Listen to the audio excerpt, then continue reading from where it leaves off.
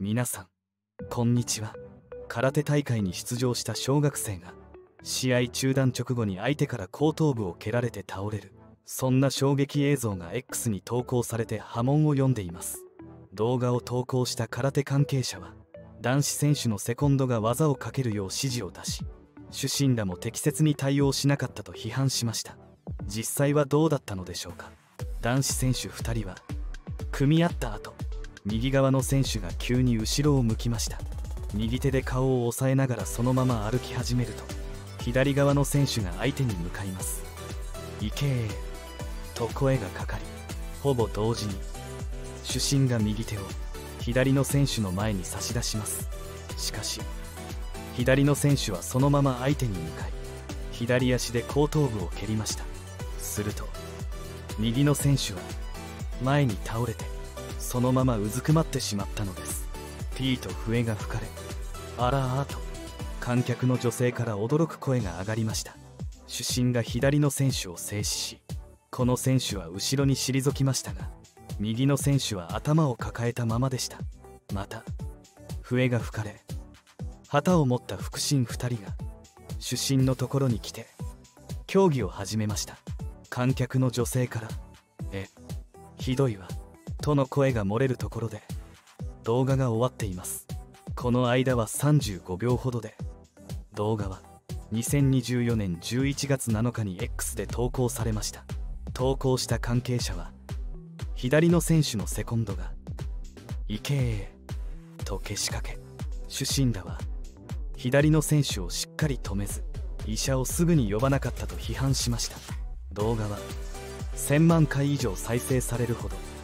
関心を集めまとめサイトが取り上げるなどして拡散する騒ぎになっています。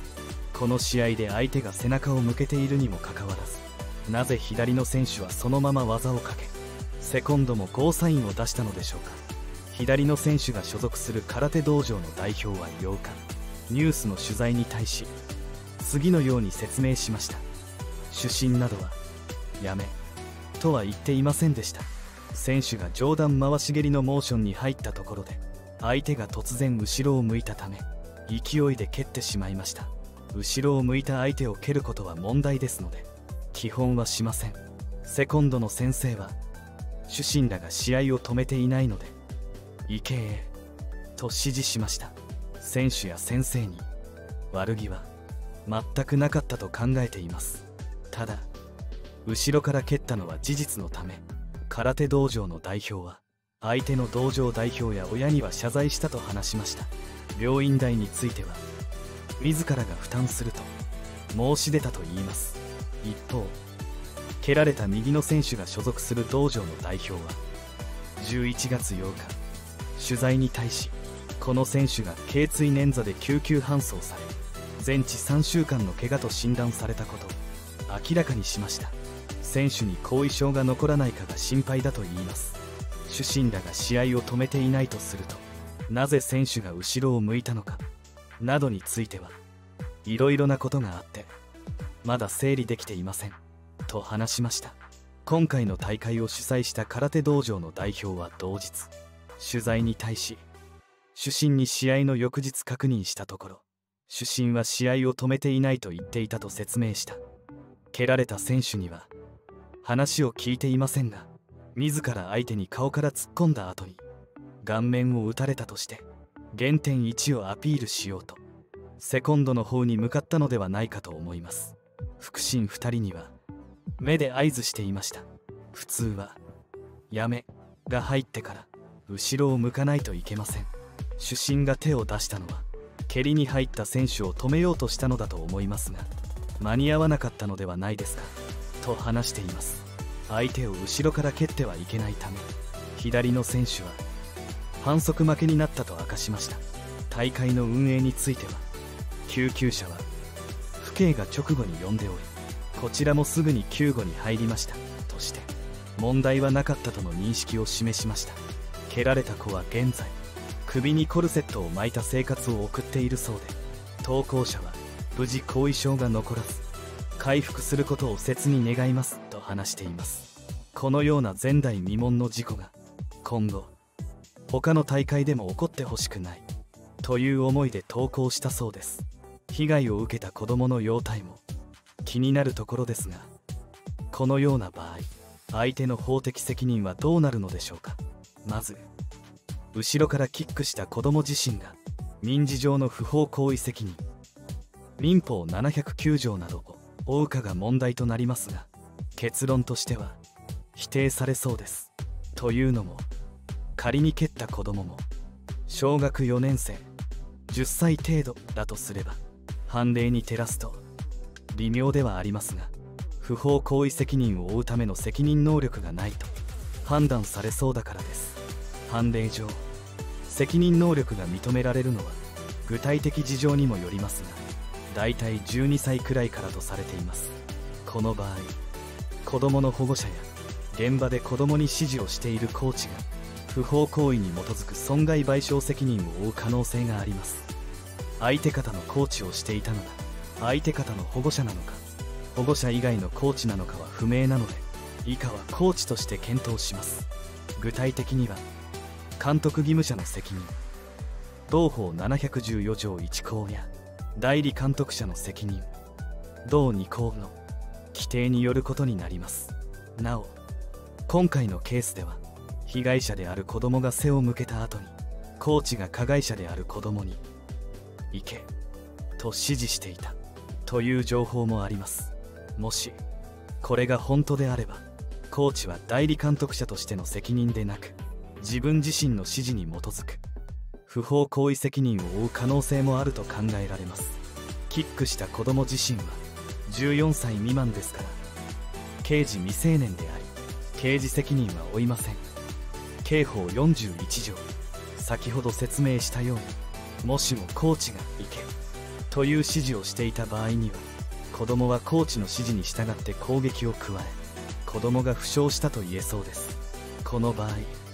指示したコーチに傷害罪。刑法204条。15年以下の懲役または50万円以下の罰金が成立する可能性があります。なお空手の大会という試合の流れの中での負傷であれば違法性が阻却されて傷害罪は成立しないと考えられます。しかし今回のケースは仮に「行け」という指示があったのだとすれば動画の流れを見ると被害を受けた子供が顔を押さえて後ろを向き明らかに試合が止まった後に蹴った子供に対して背後から攻撃することを指示していることになります。このような攻撃はルール違反であることが明らかですし後遺症を残しかねない非常に危険な攻撃ですので到底試合の中でのこととして違法性が阻却されるようなものではないと考えられます。したがってコーチ自身が傷害罪に問われる可能性があると考えられます。礼節を重んじるはずの空手道の大会でこのような痛ましい事態が起こってしまったのは何とも残念なことです。被害に遭ったお子さんの回復を強く願うとともに加害してしまった。子供のケアも必要だと感じます。元 K1 ワールドグランプリウェルター級王者で YouTuber としても活動する。総合格闘家の久保優太さんも8日にこの少年空手の試合動画に言及しました。久保優太さんはこの投稿動画を引用しこれはひどいと反応しました。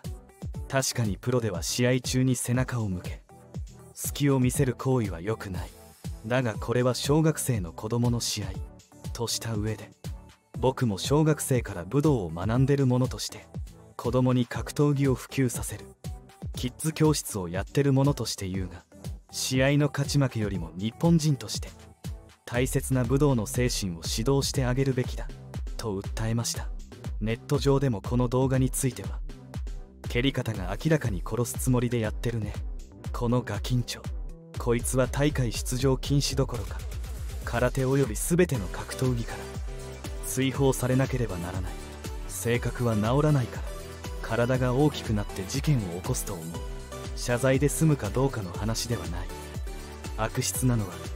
蹴った子のセコンド先生一度止まって間が空いた後に背中向けてる相手を攻撃しろと行けと指示を出してる非常に問題だと思います。そして主審と副審の2人主審はしっかり止めなきゃいけないし腹心も含め倒れた後ドクターも呼ばず何をぼーっとしてんのかね。蹴った子が蹴られた子の親たちに怒鳴られたから蹴った子の親が怒って謝らなかったそうだけどその怒鳴った行為が悪いから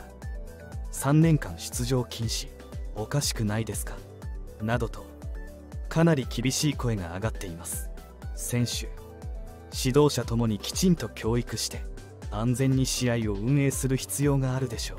最後まで動画をご視聴いただきありがとうございました。コメントを残してくれると嬉しいです。